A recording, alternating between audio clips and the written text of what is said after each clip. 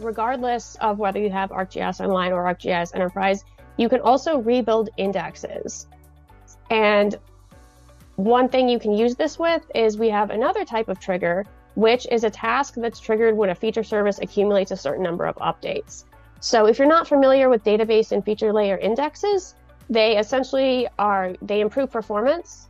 And so if a database or a service has a lot of records added or deleted, sometimes that index can get a little bit out of sync with the data, and that can cause it to become slower and slower. And usually you don't think to reindex things until somebody complains that something is running slowly. But with Scheduler, you can actually have a task that will trigger your database or your layer to rebuild indexes every X number of edits. So, you know, you can you can configure the amount, but say, you know, every 100 edits, just rebuild the index. And that can ensure that your service or your database continues to have its peak performance and you can just set up this task once and forget about it and you don't have to wait for people to complain and say that your service is running slowly.